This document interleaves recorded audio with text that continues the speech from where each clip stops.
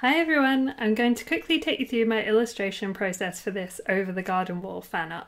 So this was done in Clip Studio Paint, drawing on my Galaxy S7 tablet with a pen. Um, not a real pen, a digital pen. The line work was drawn with the standard pencil tool with the layer converted to monochrome to give it this nice solid black line. I like to sketch everything out roughly to begin with, and I generally don't plan fan arts more than just a scrappy sketch or two, as I like to just see what happens with them. As the line was finished, I used the fill tool to quickly drop in the colours for the main characters, and then used the pencil tool on a colour layer to make some small tweaks and edits and add in cute cheek blushes and so on.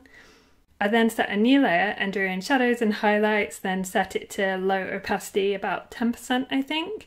Uh, it just gives a bit of subtle depth to the illustration. Afterwards, I jumped into using some nice autumnal colours to fill in the background plants and decoration with the pen tool.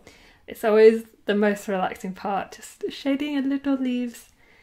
Uh, next, I made some last minute tweaks. Um, you can see I changed the direction of the eyes and uh, some other little edits.